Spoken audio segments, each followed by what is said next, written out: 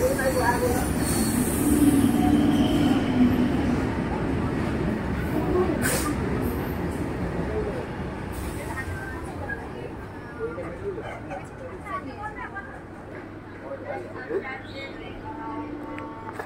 লাভ নেই পুঁজি উঠবে না মালায়